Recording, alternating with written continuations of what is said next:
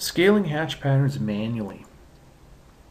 So when I go up and do a hatch pattern, by default it's set at a hatch pattern scale of 1. So when I go to put a 1 in here, it's way too tight. It's just going to be a blob of ink.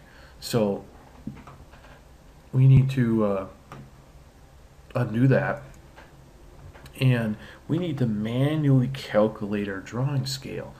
So if I'm going, let's say at um, a quarter inch equals a foot, you know, this is an architectural drawing, I'm going to have to come up with my drawing scale, which will be 48. So how many quarter inches are there in one foot?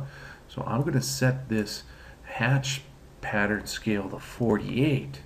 Now, when I come in here and pick, it comes up with the correct size hatch pattern.